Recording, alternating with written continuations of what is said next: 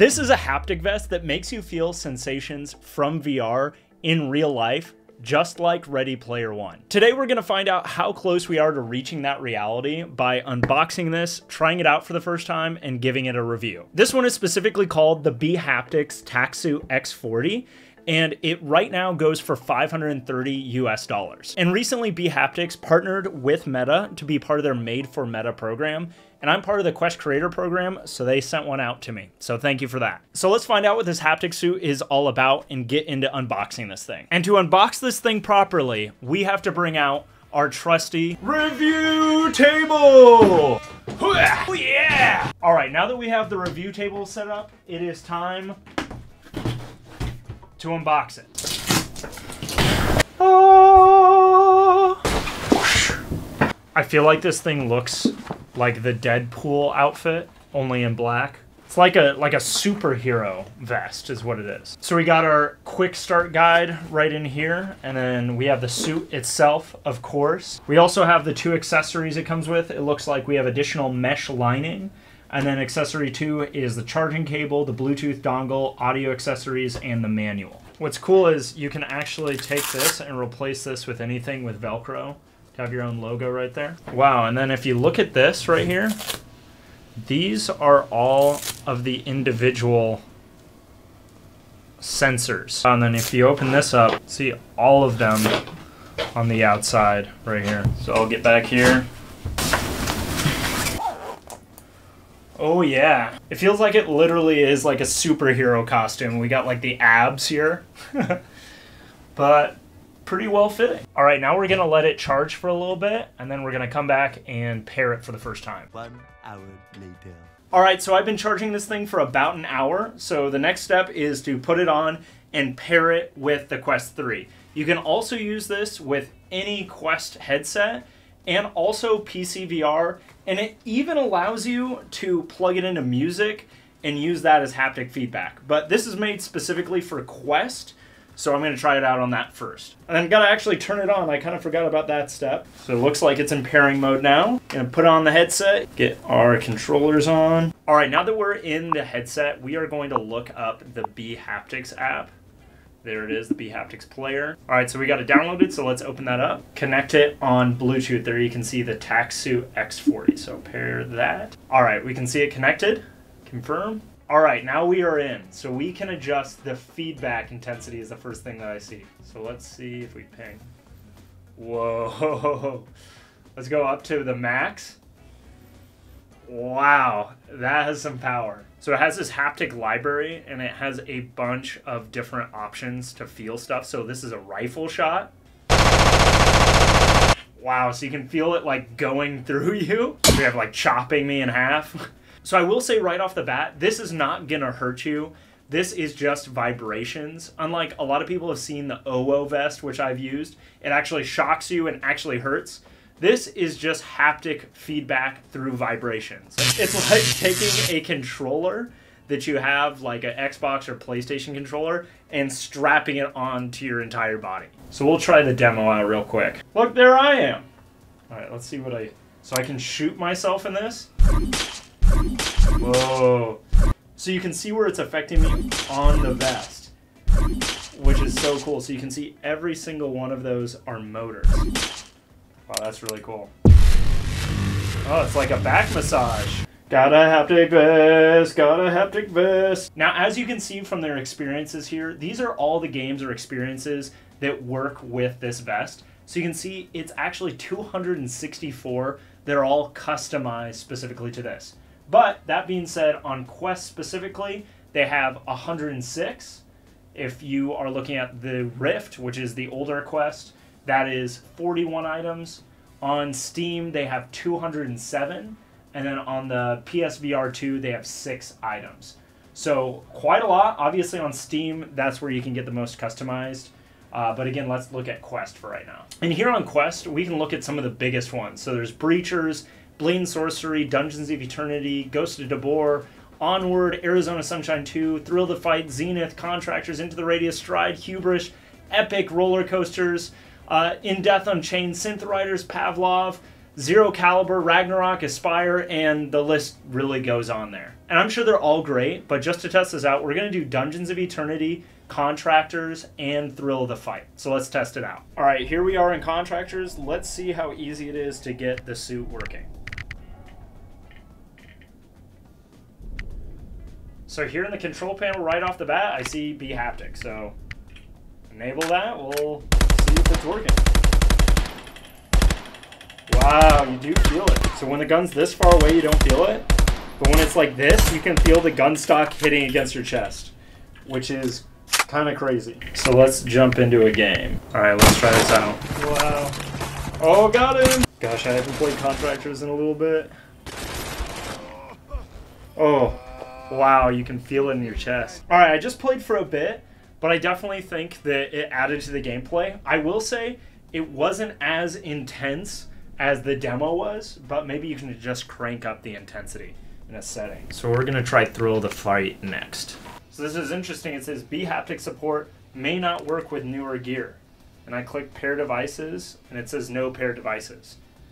So I guess it might not be working in this game. So the other one, Contractors, was so easy, but then this one, it doesn't seem like it's working. Um, might be user error on my part, but we got to move to the next game. Dungeons of Eternity, so let's see how easy it is to turn this on. Seems like it's working from the get-go. You feel it when you spawn in, so when you grab the weapon, you can feel it. Wow, you can feel the liquid going down, which is kind of crazy. It's a crazy feeling. Hiya! Oh, get wrecked. Wow, you can definitely feel every movement. I'm frozen. Holy moly! Oh my god! Oh boy, I don't know what I got myself into with this one. Eh. Get ready to be vanquished. Oh boy! I'm literally dead. I have literally a candy cane. Take this and this! Some like Elden Ring stuff right here. And I'm dead. Oops. Alright, that was sick, and that was just a quick demo of a few of the things that we can do on here. Obviously, there's so many games, but I would say overall, it definitely did make me more immersed and kind of helped even like know where someone's shooting me from or where to go or and I would say it's just kind of fun to have it. So let's break down my final review of the Tactsuit and if it's worth getting one. Okay, so now that we've gone through all the unboxing, setup, and demo of the Tactsuit, it's time to dive into the final review. But before I do that, if you've enjoyed the video so far, if you could just take a second to leave a like and subscribe, I cover all kinds of cool tech that's coming out and I'm sure you would love it. But back to the X40. I've spent a solid amount of time testing this across a few different experiences and games, and it's definitely clear that this brings something unique to the table of VR haptic vests. First up, I want to talk about comfort and usability. The Tactsuit definitely is super user-friendly. I felt like you guys just watched me use it on the standalone Quest, and the setup was super straightforward, and once you get it connected, you're pretty much good to go. You just have to flip a switch, and uh, same thing with PC VR. There's even more like customization that you can use with that. Um, and since it's kind of an open design, it allows it to be used across a bunch of different uses. So you can use it for music, or you can use it for normal games like Call of Duty or Fortnite, which is pretty cool. So it's kind of a one size fits all design, so I think that's pretty cool. Makes it a lot more accessible for users. And next is the immersive experience. This is obviously the main selling point for the suit. It's just the amount of immersion that it provides. It's that layer of realism that's hard to describe unless you've tried it yourself because it's unlike any other gaming experience. And since it has a bunch of native support for a bunch of games that they partnered with, whether it's Blade or Sorcery, Pavlov, or the games you guys watch me play, I just think that all those haptic feedback points in those games that are customized from the devs from bHaptics and those games it just makes it super seamless. And next I want to compare it to other haptic suits. The first one that comes to a lot of people's mind is the Teslasuit. Now this is like the pinnacle of haptic feedback technology. This is like the top of the line. I've never tried it, but I've known a few people that have. And this thing uses different technologies, one called EMS and one called TENS, which essentially replicate a broad range of different sensations from gentle touches to powerful impacts. And it's really incredible technology, but guess what? It's nearly $12,000. And just the complexity of it and the cost will not make it worthwhile for an average person to buy it.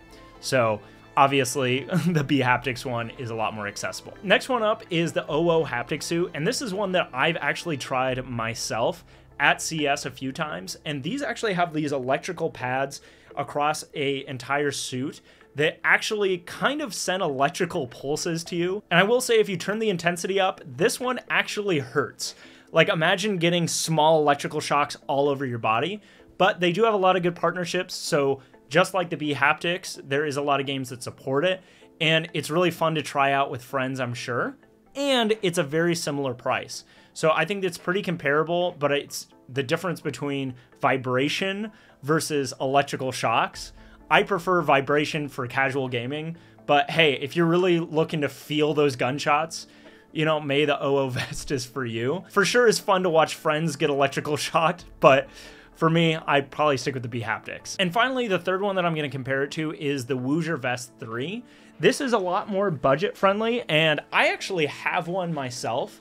Um, I got to review this um, a few months back, and it's a solid choice, but it's more focused on the bass and similarly vibrations from the bHaptics. The thing is, this one is not going to be programmed and customized with Quest games the same way the bHaptics one is. This one is actually more geared towards traditional like gaming experiences and listening to music uh, and for sure can be used with the Quest. But the way that the haptics work is it actually processes the audio. So if it hears a loud bass, it'll rumble. So finally, let's talk about value for your money. Uh, again, at 530, the Tactsuit X40 is not necessarily cheap, especially when there's a bunch of other accessories that you can buy for your headset. However, at that price, you are definitely getting a high quality piece of hardware that's well built and definitely connects up with games and adds a whole level of immersion to VR that you couldn't get without it. So if you're someone who spends a lot of time in VR um, or even wants to use this for normal gaming experiences or music, I think the investment probably is well worth it. So my final thoughts on the B Haptics Tactsuit is it's really kind of the next step in VR technology. I think it's really cool that we already have, again, something like Ready Player One that you can use today, and it works with tons of different games. So, um, is it super budget friendly? You know, it's just as much as the headset, so it's a little pricey, but definitely within the grasp for someone who's a real enthusiast. And again, it's not just a cool piece of technology, it actually can enhance, you know, your virtual reality experience. So, again, if you're serious about VR, definitely check it out. And again, thank you guys for watching today. If you can like and subscribe, helps the channel grow. Until next time, I'm Justin Wieb. Peace out.